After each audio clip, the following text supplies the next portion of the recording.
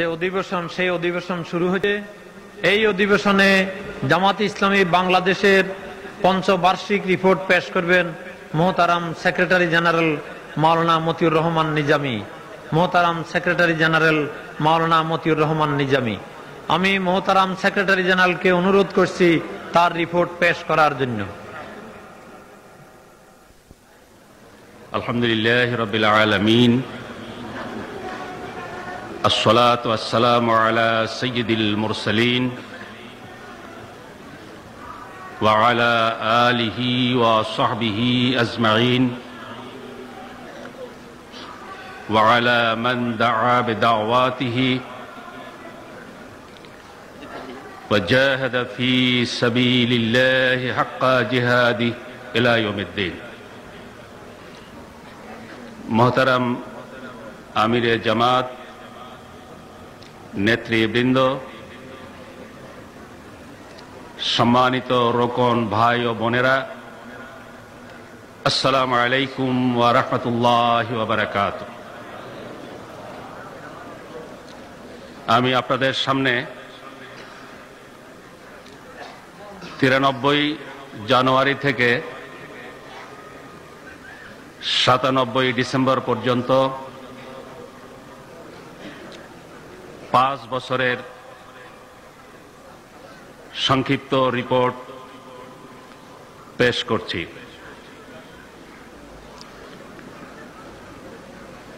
আলহামদুলিল্লাহ, মহান রব্বুল আলমিনের অশেষ মেহরবানিতে জামাত ইসলামী বাংলাদেশ বাংলাদেশে আল্লাহর আইন ও সৎলোকের শাসন কায়েম তথা বাংলাদেশকে একটি ইসলামী কল্যাণ রাষ্ট্রে পরিণত করার সংগ্রামে আরও পাঁচটি বছর অতিক্রম করল। ইতিহাসের ধারাবাহিকতায় বিগত পাঁচ বছর জামাতকে অতিক্রম করতে হয়েছে নানা প্রতিকূলতা, প্রতিবন্ধকতা এবং বাধা বিপত্তি। ভোগ করতে হয়েছে জেল, জুলুম নির্যাতন, নিপীড়ন। কোরবানি দিতে হয়েছে অনেককে। উনিশশো বিরানব্বই সালের চব্বিশে মার্চ জামাত ইসলামী বাংলাদেশের আমির অধ্যাপক গোলাম আজমকে গ্রেপ্তার করা হয়। উনিশশো তিরানব্বই সালের বাইশে এপ্রিল সুপ্রিম কোর্টের হাইকোর্ট ডিভিশনের রায় তার দীর্ঘ প্রতীক্ষিত নাগরিক অধিকার পুনর্বহাল হয়। চোদ্দই জুলাই তিরানব্বই সালে তার ডিটেনশন আদেশ, অবৈধ ঘোষণার পর পনেরোই জুলাই তিনি ঢাকা কেন্দ্রীয় কারাগার থেকে মুক্তি পান। এ সময় জামাতকে ভূমিকা পালন করতে হয়েছে একযোগে রাজপথে, সংসদে এবং আদালতে। সর্বাবস্থায় জামাত ভারসাম্য রক্ষা করে সামনে এগিয়ে যাওয়ার প্রয়াস চালিয়েছে। উনিশশো চুরানব্বই সাল সিটি কর্পোরেশন নির্বাচন, সংসদ বর্জন, ধর্মদ্রোহীদের শাস্তির দাবিতে ব্লাসফেমি ধরনের আইন প্রণয়নের গণদাবি শিক্ষাঙ্গনে অব্যাহত সন্ত্রাস সাতক্ষীরায় পঞ্চাশ সহস্রাধিক কর্মীর সম্মেলনে আমির জামাতের ভাষণের মাধ্যমে সুদীর্ঘ দুই যুগ পর তার গণসংযোগ অভিযান শুরু এবং চট্টগ্রাম, ঢাকা, রাজশাহী, সিলেট, ঝিনাইদা সহ বগুড়া ও দিনাজপুরে বিশাল বিশাল জনসভা ও গণসংবর্ধনা। কেয়ারটেকার সরকার দাবিতে সম্মিলিত বিরোধী দলের আন্দোলন উনিশশো চুরানব্বই সালে জামাতের সাংগঠনিক ও রাজনৈতিক কর্মকাণ্ডে বিরাট প্রভাব বিস্তার করেছে। উনিশশো পঁচানব্বই সাল ছিল ক্যারটেকার সরকার প্রতিষ্ঠার জন্য প্রবল আন্দোলন, নির্যাতন, নিপীড়ন, জেল, জুলুম অসহযোগ কর্মসূচি বছর। আন্দোলনের মুখে বিএনপি সরকারের বিরোধী দল বর্জিত পনেরোই ফেব্রুয়ারির প্রহসনমূলক ভোটারবিহীন নির্বাচন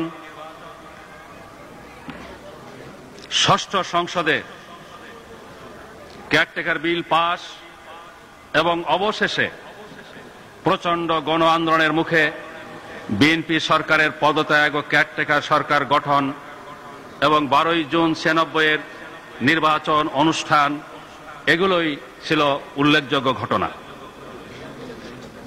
এ নির্বাচনে দেশি বিদেশি বহুমুখী ষড়যন্ত্রের কারণে জামাতকে চরম বিপর্যয়ের সম্মুখীন হতে হয়েছে। ক্যাটটেকার সরকার প্রতিষ্ঠার আন্দোলনের সাফল্য অর্জিত হলেও নির্বাচনে জামাত কাঙ্ক্ষিত সাফল্য লাভ করতে পারেনি। বাংলাদেশে যে গতিতে জামাত অগ্রসর হচ্ছিল, নির্বাচনের ব্যর্থতা জামাতের অগ্রযাত্রাকে ব্যাহত করেছে। নিঃসন্দেহে জামাতের ইতিহাসে এটি একটি বড় ধরনের ঘটনা। আমিরে জামাত কেন্দ্রীয় রোকন সম্মেলন, একশো আটচল্লিশ সদস্য বিশিষ্ট মজলিস সোরা, পঁয়তাল্লিশ সদস্য বিশিষ্ট কেন্দ্রীয় কর্মপরিষদ এবং তেরো সদস্য বিশিষ্ট কেন্দ্রীয় নির্বাহী পরিষদ নিয়ে কেন্দ্রীয় জামাত পরিচালিত হচ্ছে। জামাত ইসলামীর সারা দেশের গোটা কার্যক্রমকে চল্লিশটি বিভাগে বিভক্ত করে কর্ম পরিষদ সদস্যদের মাধ্যমে তার বাস্তবায়ন করা হয়। এবং গুরুত্বপূর্ণ বিভাগ সময়ের জন্য রয়েছে অনেকগুলো স্থায়ী কমিটি। চৌষট্টিটি প্রশাসনিক জেলায় সাংগঠনিক প্রয়োজনে জামাতের সাংগঠনিক জেলা রয়েছে বাহাত্তরটি। ঢাকা, চট্টগ্রাম, খুলনা ও রাজশাহী মহানগরীর রয়েছে জেলা সংগঠনের মর্যাদা। এছাড়া ঢাকা উত্তর ও দক্ষিণ, চট্টগ্রাম উত্তর ও দক্ষিণ রাজশাহী পূর্ব পশ্চিম, খুলনা, উত্তর ও দক্ষিণকে দেওয়া হয়েছে জেলা সংগঠনের মর্যাদা। নতুন ব্যবস্থায় বারোটি অঞ্চল গঠন করে সংগঠনের কার্যক্রম তদারকির ব্যবস্থা করা হয়েছে। ঘটনাবহুল এ পাঁচটি বছরে জমাতার ঐতিহ্য অনুযায়ী পরিকল্পনা আলোক আলোকে তিন দফা দাওয়াত ও চার দফা কর্মসূচি বাস্তবায়নে সাধ্যমতো প্রচেষ্টা চালিয়ে আন্দোলনকে সুনির্দিষ্টভাবে এগিয়ে নিয়ে যাওয়ার লক্ষ্যে বিগত পাঁচ বছরে নিম্ন নিম্নোক্ত লক্ষ্য নির্ধারণ করেছিল। এক, ইসলামী সরকার গঠনের লক্ষ্যে সংসদ নির্বাচনকে সর্বাধিক গুরুত্ব প্রদান। দুই, জামাত ইসলামীকে জনগণের সংগঠনে পরিণত করার প্রচেষ্টা অব্যাহত রাখা। তিন, সাংগঠনিক মজবুতি অর্জন। আমরা এই রিপোর্টকে চার দফার ভিত্তিতে সাজিয়ে পেশ করার চেষ্টা করব। প্রথম দফা কর্মসূচি দাওয়াত ও তাবলিগ। সর্বশ্রেণীর মানুষের নিকট ইসলামের প্রকৃত রূপ বিশ্লেষণ করে চিন্তার পরিশুদ্ধি ও বিকাশ সাধনের মাধ্যমে জীবনের সর্বক্ষেত্রে ইসলামের অনুসরণ ও দিন প্রতিষ্ঠার প্রয়োজনীয়তা সম্পর্কে অনুভূতি জাগ্রত করা। বিগত পাঁচ বছরে নানা প্রতিকূলতা সত্ত্বেও উত্তম নসিহত ও হিকমতের মাধ্যমে আল্লাহর দিনের দাওয়াত পৌঁছে দেওয়ার চেষ্টা করা হয়েছে মানুষের ঘরে ঘরে। ব্যক্তিগত, সামষ্টিক এবং বিভিন্ন পর্যায়ে দাওয়াত পৌঁছানোর চেষ্টা করা হয়েছে। এতে সাড়া দিয়েছেন দেশের বিভিন্ন পর্যায়ের লক্ষ লক্ষ মানুষ। এ দফার পরিকল্পনা বাস্তবায়নের জন্য ব্যক্তিগত যোগাযোগ দাওয়াতি সপ্তাহ পালন, দাওয়াতি অভিযান, সভা, সমাবেশ, বিভিন্ন দিবস পালন, ইসলামী সাহিত্য, পত্রপত্রিকা বিতরণ ও বিক্রয় ইত্যাদি বহুমুখী কার্যক্রম চালানো হয়েছে। দেশভিত্তিক দাওয়াতি অভিযান। কেন্দ্রীয় পরিকল্পনা অনুযায়ী সকল পর্যায়ে ব্যাপকভাবে দাওয়াত সম্প্রসারণের লক্ষ্যে তিরিশে এপ্রিল থেকে চোদ্দই মে তিরানব্বই পর্যন্ত সারা দেশব্যাপী দাওয়াতি অভিযান এবং চুরানব্বই সালের পয়লা জুন থেকে পনেরোই জুন মহিলাদের জন্য এবং পাঁচ পনেরোই জুন থেকে তিরিশে জুন পুরুষদের জন্য দাওয়াতি পক্ষ পালন করা হয়। এ সময় চার লক্ষ ছয়চল্লিশ হাজার ছয়শো চোদ্দ জন জামাতের দাওয়াত গ্রহণ করে সহযোগী সদস্য হয়েছেন। উনিশশো পঁচানব্বই সালের জুন মাসব্যাপী দাওয়াত অভিযান পালন করা হয়। পয়লা জুন থেকে পনেরোই জুন পর্যন্ত দাওয়াতি পক্ষ মহিলা ও ষোলোই জুন থেকে তিরিশে জুন পর্যন্ত দাওয়াতি পক্ষ পুরুষদের জন্য পালন করা হয় সারা দেশে। এ অভিযানে জনগণের মধ্যে ব্যাপক সাড়া পাওয়া যায় এবং বিপুল পরিমাণ ইসলামী সাহিত্য জনগণের মধ্যে বিতরণ করা হয়। তবে রাজনৈতিক আন্দোলন ও জাতীয় সংসদ নির্বাচনের প্রস্তুতির ব্যস্ততার কারণে রিপোর্ট সংগ্রহ সমন্বয় করা সম্ভব হয়নি। কেন্দ্রীয় পরিকল্পনার আলোকে বাইশে অক্টোবর থেকে একত্রিশে অক্টোবর ছিয়ানব্বই সারা দেশে দাওয়াতি অভিযান পরিচালিত হয়। এই অভিযানে ব্যক্তিগত যোগাযোগ গ্রুপ ভিত্তিক দাওয়াত, আলোচনা সভা, সদী সমাবেশ সাহিত্য ইসলামী সাহিত্য বিতরণ ও বিক্রয়, ক্যাসেট বিলি ও বিক্রয় পত্র পত্রিকার গ্রাহক সৃষ্টি প্রভৃতির মাধ্যমে সর্বস্তরের জনগণের নিকট দাওয়াত পৌঁছানোর ব্যাপক প্রচেষ্টা চালানো হয়। উক্ত অভিযানে ব্যক্তিগতভাবে দুই লক্ষ চুয়ান্ন হাজার সাতশো বিরাশি জন এবং গ্রুপ ভিত্তিক পাঁচ লাখ পঁয়তাল্লিশ হাজার একশো চোদ্দ জনের নিকট দাওয়াত পৌঁছানো হয়। দাওয়াতি অভিযানে এক লক্ষ সাত হাজার তিনশো বাইশটি বই বিক- বিক্রয় করা হয়। বাহাত্তরটি জেলার মধ্যে আটষট্টিটি জেলার রিপোর্ট পাওয়া যায়। বিশেষ দাওয়াত প্রশাসনিক যোগাযোগ। সমাজ ও রাষ্ট্রযন্ত্রের বিশিষ্ট ব্যক্তিবর্গের কাছে ইসলামের দাওয়াত পৌঁছানো এবং তাদেরকে আন্দোলনে সামিল করার লক্ষ্যে বিশেষ দাওয়াতের মাধ্যমে তৎপরতা চালানো হয়। সচিবালয়ের কর্মকর্তা, আইনজীবী, সাংবাদিক, বুদ্ধিজীবী রাজনৈতিক নেতৃবৃন্দ, চিকিৎসক, প্রকৌশলী ওলামাই কেরাম, ব্যবসায়ী, শিল্পপতি সহ প্রভাবশালী ব্যক্তিবর্গ এই দাওয়াতের আওতাভুক্ত। আমিরে জামাত সহ কেন্দ্রীয় নেতৃবৃন্দ এ কাজ আঞ্জাম দিয়ে থাকেন। কেন্দ্রে বিশেষ দাওয়াত নামে একটি বিভাগ আছে। অধ্যাপক মুজিবুর রহমান সাহেব এ বিভাগের দায়িত্বশীল।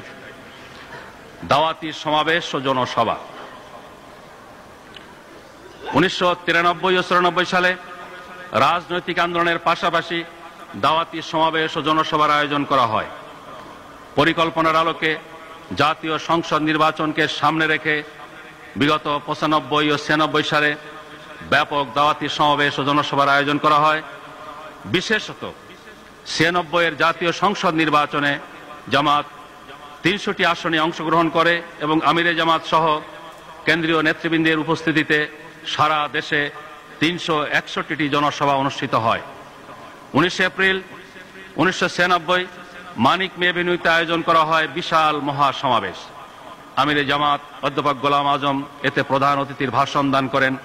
নির্বাচনী সমাবেশ ও জনসভা এবং স্বাধীনতা দিবস, ভাষা দিবস, ষোলোই ডিসেম্বর, বিজয় দিবস সহ সাতটি দিবস পালনের মাধ্যমেও দেশবাসীর নিকট দাওয়াত পৌঁছানোর চেষ্টা করা হয়। অন্যান্য তৎপরতা। এছাড়া ওয়াজ তফসির মাহফিল, সিরাত নবী মাহফিল অনুষ্ঠান স্বল্প মূল্য ও বিনামূল্যে বই বিতরণ সুদী সমাবেশ, শ্রেণি ও পেশাভিত্তিক দাওয়াতি বৈঠক, চা চক্র, দাওয়াতি টিম প্রেরণ, মাসিক সাধারণ সভা, মসজিদ ভিত্তিক দাওয়াতি কাজ, জুমা, বক্তৃতা, ঈদগাহে আলোচনা, দাওয়াতি চিঠি, দাওয়াতি বই উপহার, ইফতার মাহফিল দাওয়াতি ক্যাসেট তৈরি ও প্রচার ইত্যাদি বহুমুখী কার্যক্রমের মাধ্যমেও জনগণের কাছে দাওয়াত পৌঁছানোর চেষ্টা করা হয়। নির্বাচনী পোস্টার বিলি করা হয়, পঁচাত্তর লক্ষ এবং নির্বাচনী ম্যানিফেস্টো বিলি করা হয় তিন লক্ষ পাঁচ হাজার।